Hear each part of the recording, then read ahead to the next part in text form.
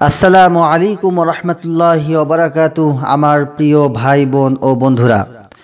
আমরা সর্বদাই কোনো না কোনো বিপদের সম্মুখীন হই, যা থেকে বের হয়ে আসার উপায় পাই না। তবে আমরা এটা ভুলে যাই, এই বিপদ কিন্তু আল্লাহই আমাদের দিয়েছেন, তাই আল্লাহই এই বিপদ থেকে আমাদের মুক্তি প্রদান করতে পারে।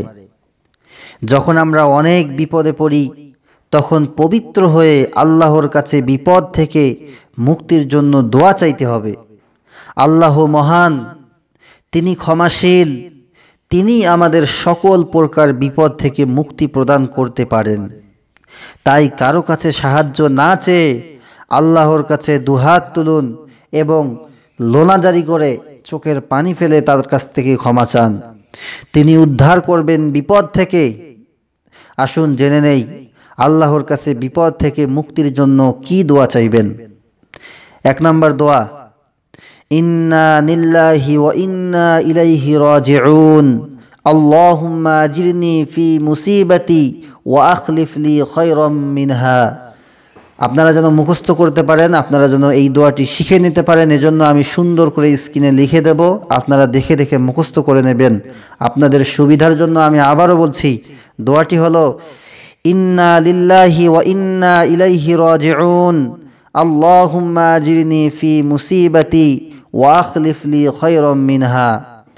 এটার অর্থ হচ্ছে, আমরা আল্লাহর জন্য এবং আমাদেরকে তারই দিকে ফিরে যেতে হবে।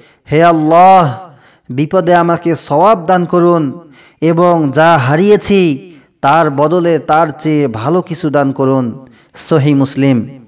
হজরত উম্মে সালমা রাজিয়াল্লাহ তালাহু থেকে বর্ণিত, তিনি বলেন আমি হজরত রাসুলুল্লাহ সাল্লাহ আলিহি ওয়াসাল্লামকে বলতে শুনেছি, মানুষের ওপর কোনো বিপদ এলে সে যদি এই দোয়া পাঠ করে, আল্লাহ তালা তাকে তার বিপদের প্রতিদান দেন এবং সে যা কিছু হারিয়েছে তার বদলে তার চেয়ে উত্তম কিছু দান করেন।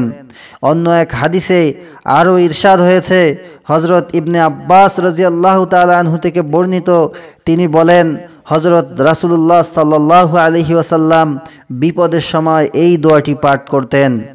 দুই নম্বর দোয়া, লা ইলাহা ইল্লাল্লাহুল হালিমুল করিম, লা ইলাহা ইল্লাল্লাহু রব্বুল আরশিল আযীম, লা ইলাহা ইল্লাল্লাহু রাব্বুস সামাওয়াতি ওয়াল আরদ ওয়া রব্বুল আরশিল করিম। আমি আপনাদের সুবিধার্থে এটা সুন্দর করে স্ক্রিনে লিখে দেবো, আপনারা দেখে দেখে মুখস্থ করে নিতে পারেন। আপনাদের সুবিধার্থে আমি আবারও বলছি লা ইলাহা ইল্লাল্লাহুল হালিমুল করিম, লা ইলাহা ইল্লাল্লাহু রব্বুল আরশিল আযীম, লা ইলাহা ইল্লাল্লাহু রাব্বুস সামাওয়াতি ওয়াল আরদ ওয়া রব্বুল আরশিল করিম। এর অর্থ হচ্ছে, আল্লাহ ব্যতীত কোনো উপাস্য নেই, তিনি পরম সহিংসু ও মহাজ্ঞানী। আল্লাহ ব্যতীত কোনো উপাস্য নেই, তিনি মহান আরসের প্রভু আল্লাহ ব্যতীত কোনো উপাস্য নেই। তিনি আকাশমণ্ডলী, জমিন ও মহাসম্মানিত আরসের প্রভু, সহি বুখারি ও মুসলিম। তো প্রিয় বন্ধুরা, এই ছিল বিপদ থেকে রক্ষা পাওয়ার দোয়া। আমরা যখন বিপদে পড়ব, তখন আমরা এই দোয়াগুলি বেশি বেশি পাঠ করব। ইনশাআল্লাহ অবশ্যই আল্লাহ তালা আমাদেরকে বিপদ থেকে রক্ষা করবেন। তো এই ছিল আজকের ভিডিও। যদি ভিডিওটি আপনাদের কাছে ভালো লেগে থাকে, তাহলে আমি অনুরোধ করব ভিডিওটি একটা লাইক দিবেন আর আপনার বন্ধুদের সঙ্গে শেয়ার করবেন। আপনার বন্ধুদের সঙ্গে শেয়ার করে ইসলাম প্রচারে আপনিও অংশগ্রহণ করবেন। আর যদি আপনি নিয়মিত আমাদের ভিডিওগুলি পেতে চান, তাহলে আমাদের চ্যানেলটি সাবস্ক্রাইব করে পাশের বেল বাটনটি অন করে রাখবেন।